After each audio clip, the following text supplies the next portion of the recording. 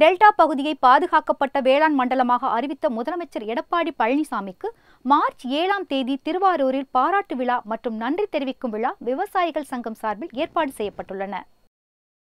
சேலம் மாவட்டம் தலைவாசலில் கடந்த ஒன்பதாம் தேதி நடைபெற்ற விழாவில் பேசிய முதலமைச்சர் காவிரி டெல்டா பகுதிகளை பாதுகாக்கப்பட்ட வேளாண் மண்டலமாக அறிவித்தார். அதற்கான மசோதாவும் சட்டப்பேரவையில் நிறைவேற்றப்பட்டது. இதற்கு நன்றி தெரிவிக்கும் வகையில் தஞ்சாவூர் திருவாரூர் நாகப்பட்டினம் ஆகிய மாவட்டங்களைச் சேர்ந்த விவசாய சங்க கூட்டமைப்பினர் பாராட்டு விழா எடுக்க திட்டமிட்டுள்ளனர். இதற்கான ஒப்புதலை முதலமைச்சரிடம் பெற்று நாளை முறைப்படி அறிவிக்கின்றனர்.